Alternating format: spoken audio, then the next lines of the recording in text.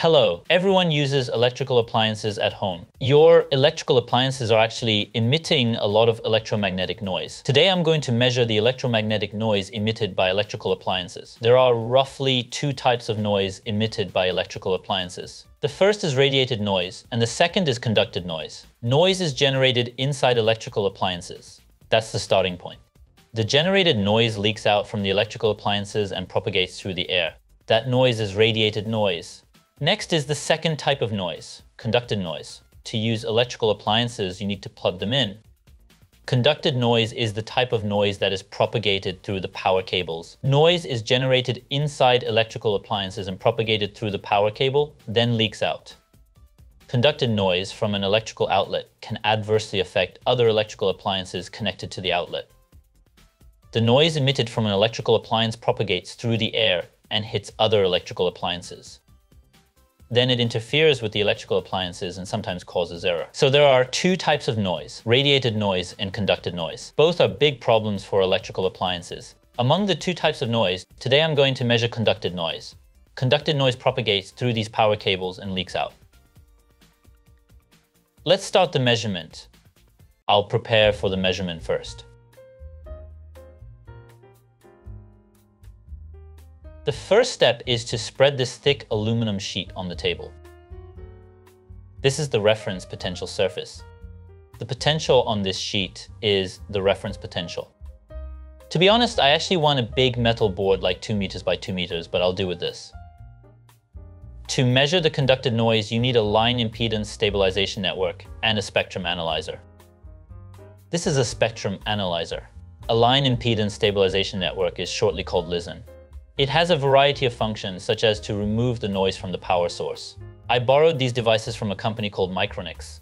To be precise, we asked a company called Nihon Denki, which deals in measuring instruments, to borrow the kit from Micronix. The link in the description provides more information about this kit. If you are interested, please check it out. The LISN uses a circuit that leaks electricity, so if you connect the LISN directly to an outlet without using an isolation transformer, the breaker will trip. I looked up the price of the LISN and it was about $1,400. It was cheaper than I thought.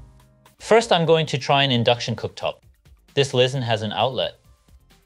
The induction cooktop is plugged in there. I'll bundle the cable. It would be better to put it on top of styrofoam or something, but I'll just put it like this this time. Another cable is coming out from the LISN. It's a coaxial cable. It is connected to this spectrum analyzer. A LISN only extracts the noise components. The noise components are transmitted to the spectrum analyzer. The spectrum analyzer measures the frequency components of the noise. The horizontal axis shows the frequency and the vertical axis shows the noise intensity. Now let's start measuring the conducted noise. This is what it looks like when the cooktop is not turned on. No noise is emitted.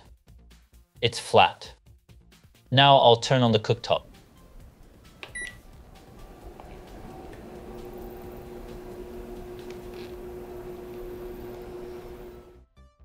Can you see?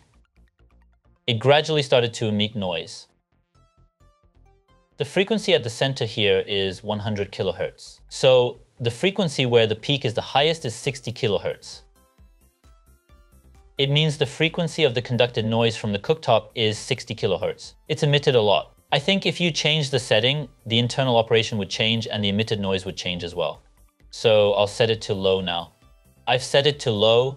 The noise seems mild. Next, I'll turn the heat up to the highest. I'll push this button. Pushed it. The frequency of the emitted noise has suddenly become more diverse. It seems noises of the various frequency bands have started to be emitted. Let's have a look at the waveform of the noise using the oscilloscope. It would be easier to analyze. The LISN is connected to the oscilloscope. I'll turn on the cooktop. The noise is displayed on the oscilloscope. This is conducted noise.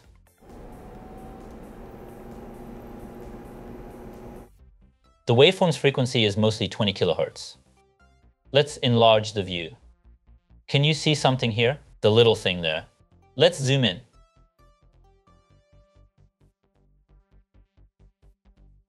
It's high frequency components hidden in the 20 kilohertz waveform. They correspond to the frequency components displayed on the right side of the spectrum analyzer. Next, the microwave. When a microwave is working, electromagnetic waves of 2.45 GHz are propagated inside. The microwave oven uses quite strong electromagnetic waves, so even if you turn it on without connecting it to the spectrum analyzer, the leaked magnetic flux affects the spectrum analyzer a little. Let's try it out. Nothing is connected to this spectrum analyzer right now. This is the 2.45 gigahertz frequency.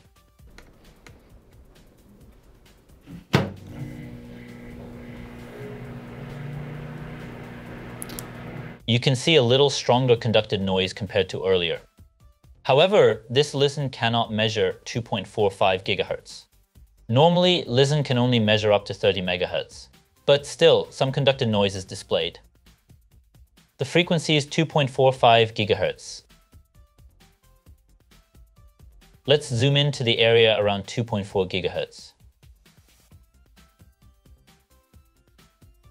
Here. The frequency at the center is 2.45 gigahertz. Yeah, it's almost 2.45 gigahertz. I haven't put anything in the microwave, by the way. Let's see if the noise changes when water is in the microwave.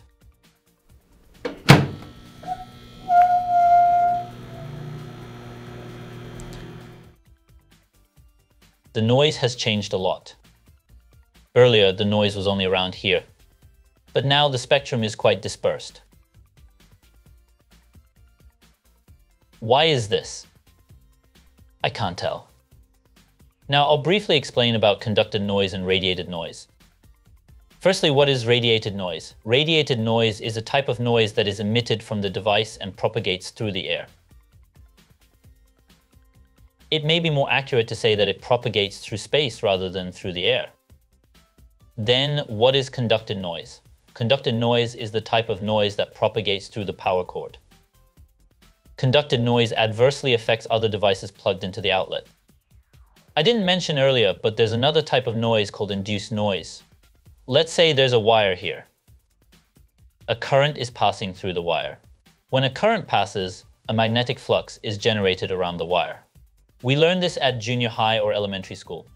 When you pass a current through a coil, a magnetic flux is generated around it. Let's say there's another wire near the wire. If the magnetic flux interlinks with the wire, a voltage is generated in the wire. That is induced noise. Why are noises generated? It's very difficult to explain. Noises are generated for many reasons. So many reasons you can't identify the cause of the noise. That is why noise suppression is difficult.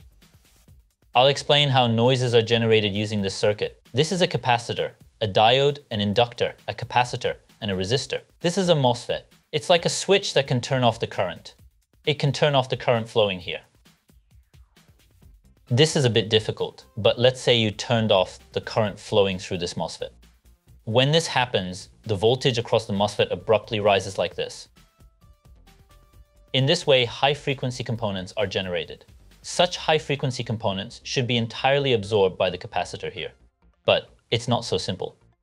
Part of the high-frequency components flow this way.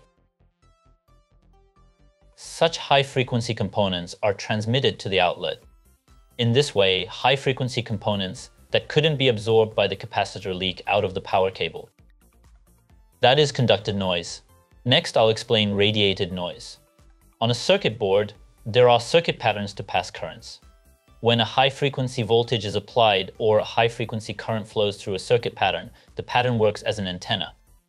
High-frequency components leaked from such antenna on a circuit board are called radiated noise. That was a simple explanation of noises. Now we know how noises are generated. Then we need to think how to prevent the noises from leaking. If you continue using a device that emits a lot of noise, it will definitely have a negative effect on other devices. There have been cases where equipment malfunction caused by noises led to fatal accidents. So noise suppression is very important. First, let's think about how to suppress radiated noise. For example, radiated noise can be suppressed by putting the noise source in a metal box. When you put the noise source in, close the lid. Now radiated noise will not leak out. Well, actually, it leaks a little. Radiated noise leaks out little by little from these small gaps in the metal box, screw holes and holes for plugging in power cables and so on. Putting the noise source in a metal box doesn't decrease the emitted noise itself. Metals reflect electromagnetic waves. If you put something that emits electromagnetic waves in a metal box, the waves are reflected inside the box and don't go outside. Also, metals absorb a small amount of electromagnetic waves. Some of the electromagnetic waves are absorbed by the metal, and the rest are reflected. Then the reflected waves hit another place, and a small amount of them are absorbed. Then the rest are reflected again. By repeating this process, the electromagnetic waves will attenuate. The microwave oven that we used earlier utilizes this mechanism. A microwave is made of a metal box. 2.45 gigahertz electromagnetic waves are reflected inside the metal box. Suppose a microwave oven was made of plastic, not metal. That would create a massive chaos. Electromagnetic waves are not absorbed or reflected, so they will simply leak outside the microwave oven. So if you have a working microwave oven made of plastic nearby, it would be disastrous. During the experiment using a microwave, a small amount of electromagnetic radiation was leaking out. In the spectrum, the frequency of 2.45 gigahertz was standing out. It means even though a microwave is made of metal, the electromagnetic waves were not completely reflected and absorbed inside. Also, there are small gaps in the microwave. Electromagnetic waves leak out from there as well. An example of covering a device with a metal box is a home-built computer power supply like this one. There are many reasons for covering it with a metal box, and one of them is to attenuate radiated noise. Other than home-built computers, some USB chargers also have metal covers. If you disassemble it and look inside, you can see a circuit board covered with a metal plate. This is also for attenuating radiated noise. Next, let's see how to prevent conducted noise that propagates through power cables from leaking out. The most common way is to put a noise filter in the power cable. I believe you've seen this cylindrical object attached to a power cable. The thing that you can clamp the cable and snap it closed.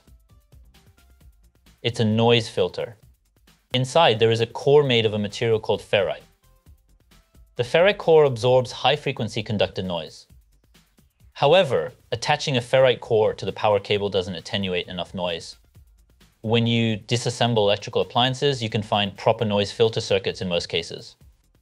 This is a noise filter in an electrical appliance I disassembled. This component with wound wires is an inductor. An inductor removes conducted noise. Look at this gray box. This is a film capacitor. It also removes noise.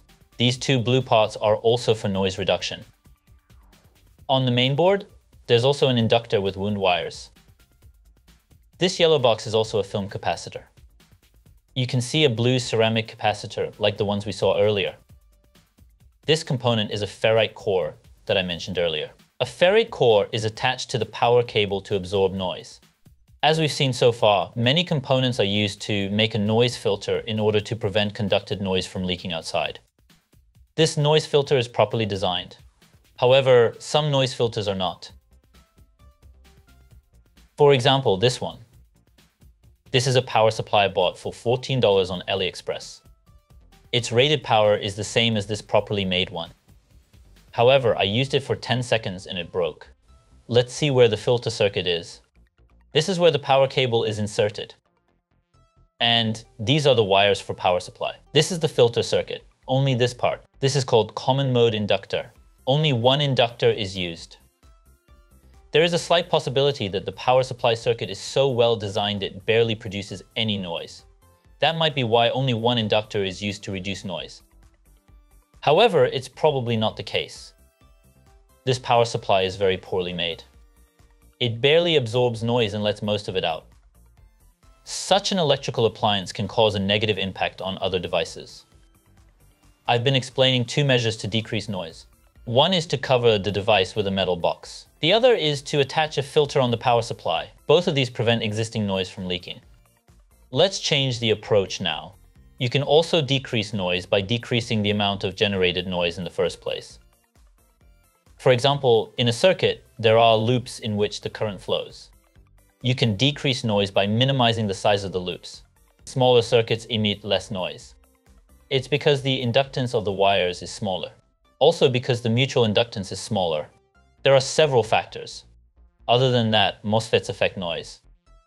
You can reduce noise by making the switching speed of a MOSFET slower. When the switching speed of a MOSFET is very fast, high frequency noise is generated. When the switching speed is slower, high frequency noise is less likely to be generated compared to when the switching speed is faster. But this method has some drawbacks.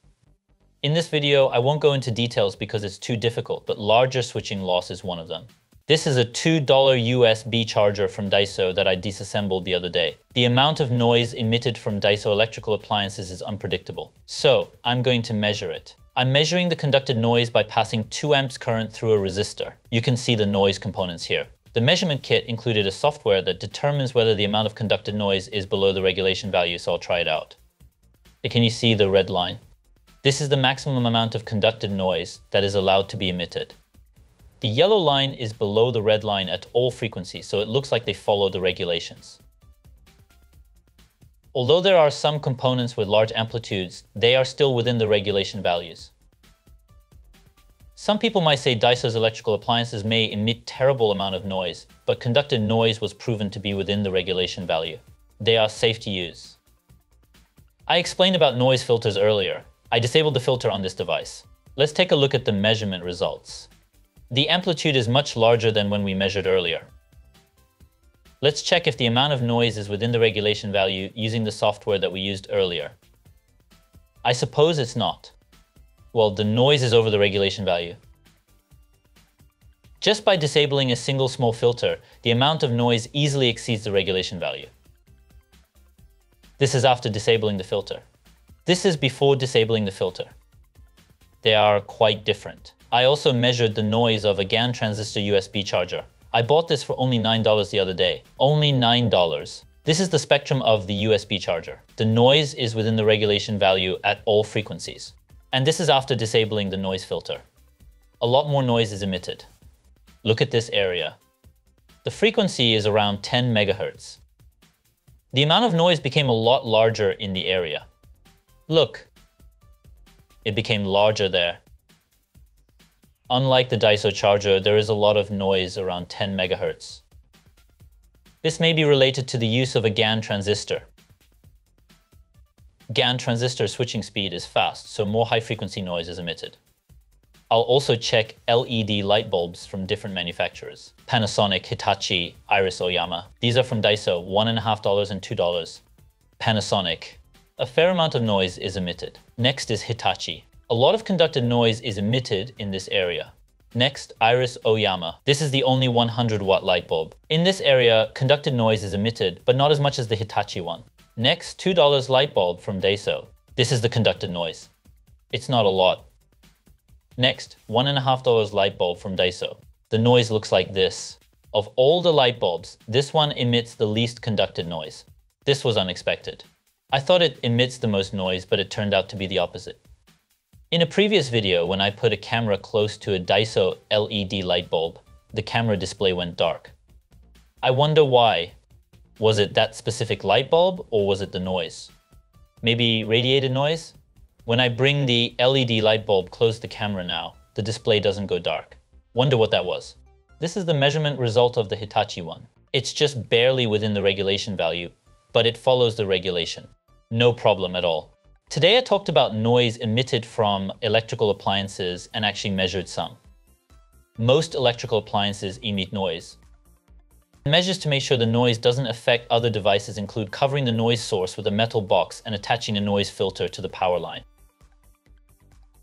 In fact, I don't think there are many electrical appliances that don't emit any noise. Incandescent light bulbs like this one and halogen heaters barely produces any noise. Such thermal equipment produces almost no noise. However, as for the other electrical appliances like the ones that use semiconductors, almost 100% of them emit noise. There are accidents caused by noise, so noise suppression is very important. However, it is extremely difficult to reduce noise. Thank you for watching.